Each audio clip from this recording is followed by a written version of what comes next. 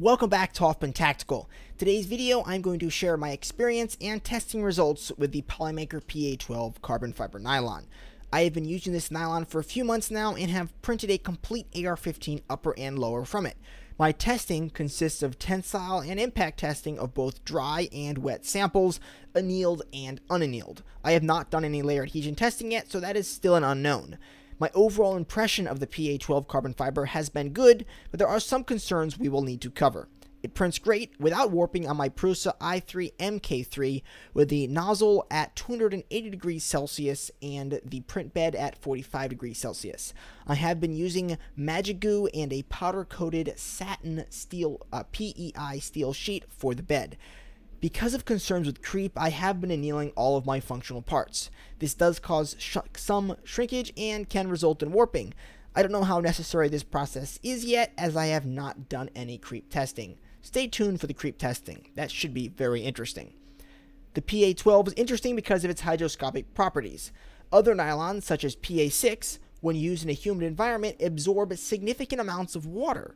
This results in a loss of tensile strength and stiffness. In some cases, of some nylons, such as the Taulman glass fiber nylon and push plastic carbon fiber nylon, the loss of stiffness is so great that it makes the nylon unusable for many parts. The PA12 absorbs much less water and maintains its stiffness even in a humid environment. That's pretty cool. Because the PA12 remains stiffer by itself, it does not need as much fiber fill to be stiffer.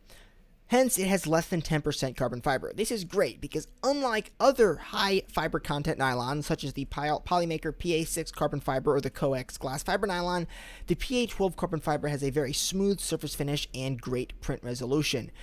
Also, because of the low fiber content, it doesn't have that rough surface which can bother your skin and get fibers in it, so it is good for things like pistol grips and handguards, which is really nice, and a problem I have with quite a few carbon fiber nylons. For my tensile test, I printed six groups of samples. These were split into three subgroups. One was left as printed, one was annealed in air, and the other was annealed in oil. Each subgroup was split again, half the samples being stored in my dry box and the other half being allowed to absorb moisture. The annealing process is to heat the samples in my filament dryer to 185 degrees Fahrenheit, approximately for two hours. This is the same process for annealing all of my nylons and is recommended by most manufacturers. The oil annealing was done as an experiment to see if the oil inhibited the absorption of water. Check out my other video on here on YouTube on the Taulman glass fiber nylon for more detail on that. And while we're here, I'll make a note. If you aren't on YouTube, congratulations. And if you are on YouTube, you might want to check out my account on odysee.com where YouTube can't censor me. So please do that. Odysee.com great site, and all of my content is out there. Normally, I allow the samples to sit in the open and absorb water from the ambient environment, but because it's winter right now and quite dry, I had to place the samples in a sealed bag with a small amount of water for a week to ensure they were wet and fully exposed to humidity for long enough to absorb the needed amount of moisture for this test. The impact samples were treated the same way, except I only had one annealed sample that was left dry and no oil annealed samples. So the scope of the impact testing was less than the tensile testing, but sufficient for our analysis. For reference, I'll be using the Polymaker PLA Pro as a benchmark when comparing test results. Unfortunately, I was unable to properly test the dry samples. This is because my test setup is only strong enough to pull 450 pounds, or about 15,000 pounds per square inch for the sample size I am using. The dry samples I tried to test were stronger than 15,000 psi, which is incredibly strong, but more than I could test with my current machine. Fortunately, I was still able to get stiffness data from the dry sample I tried to test. The PA12 carbon fiber nylon exhibited no necking and very little yield before failure. This is typical of other filled nylons.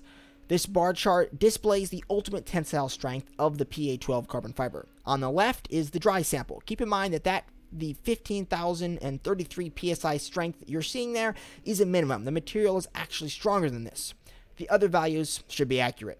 You can see that the wet samples are weaker than the dry samples, but still incredibly strong.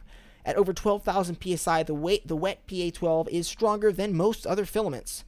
Something interesting is how the annealing affects the strength. The annealed samples were very close to the same strength of the unannealed samples and a little weaker, if anything. This is opposite of what I have observed with other nylons. Normally, annealing improves strength. The oil annealed samples were a little stronger, and this is probably because the oil prevented a certain amount of moisture absor- absorption. The Young's modulus or stiffness is shown on this chart here. The results are very similar. The PA12 has remained significantly stiffer than the PLA Pro even after absorbing water, which is great. The annealed samples here are slightly stiffer than the raw samples, but not enough to make any determinations. Pretty much, annealing had almost no effect on either the strength or stiffness of the samples after they absorbed water. That's really interesting. Not sure why. Impact resistance is also interesting. After absorbing water, the impact resistance actually went down a bit, not up. With other nylons, such as the Taulman glass fiber nylon, absorbing water normally makes made the nylon weaker, but more impact resistant. I'm not sure what these opposite results indicate, but they are interesting. You will also observe that the annealed sample had less impact resistance than the raw samples. This is typical of annealing nylon. Even though the impact resistance is not incredible, it's still better than the PLA Pro. All of the samples broke with a rough surface free of shattering, typical of filled nylons. I would say that the PA12 carbon fiber nylon has good impact properties and is not a brittle filament. There are two areas of concern with this filament. The first one is heat resistance. The attraction of any carbon fiber nylon over PLA Pro is the improved resistance to heat. The Polymaker PLA Pro has a heat deflection temperature of about 58 degrees Celsius according to Polymaker's technical data sheets. The PA12 carbon fiber nylon has a heat deflection temperature of 105 degrees Celsius, and the PA6 carbon fiber nylon has a heat deflection temperature of a whopping 173 degrees Celsius you can see that the PA12 has a significantly lower heat deflection temperature than the PA6, yet it still appears good looking at these numbers. However, if you look at the heat deflection temperature curves for each of these filaments, you will see that the PA12 begins to deflect at around only 45 degrees Celsius, the PA6 at around 90 degrees Celsius, and the PLA Pro around 55 degrees Celsius. The concern is that even though the PA12 carbon fiber retains its strength at elevated temperatures, it may begin to creep. And this leads us into the next potential problem. Creep is a plastic deformation at stress levels significantly below the yield strength of the material. I have not yet done any creep testing with the PA12, so I don't know how much of an issue it is. I did observe some possible creep issues around the buffer tower on my Orko build, but this is inconclusive. With other nylons I have tested, creep was a huge problem until I annealed the parts. Whether or not this is a problem with the PA12 will be most interesting.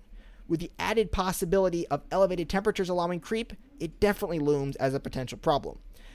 The alternative to a lower fiber content PA12, such as the Polymaker PA12 carbon fiber, is a higher fiber content PA6, or equivalent.